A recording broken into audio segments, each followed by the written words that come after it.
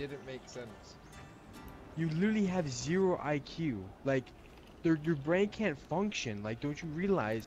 I took your. Exactly, I said everything I said. I said it to you. Alright, Okay. bro. Go fuck yourself then. Um, Why did you shoot him? Why'd you Why kill him? Why'd you kill him? He tried to pull a gun on you, bro.